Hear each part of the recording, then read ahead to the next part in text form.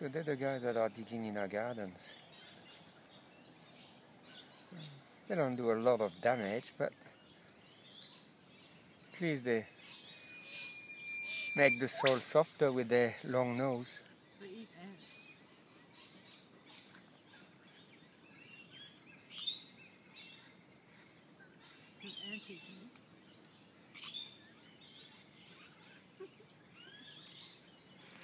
That's the environment here.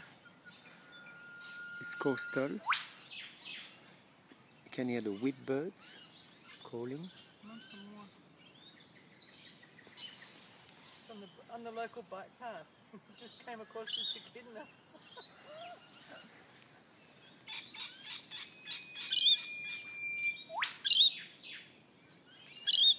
He's actually getting scared of the noise of birds as well.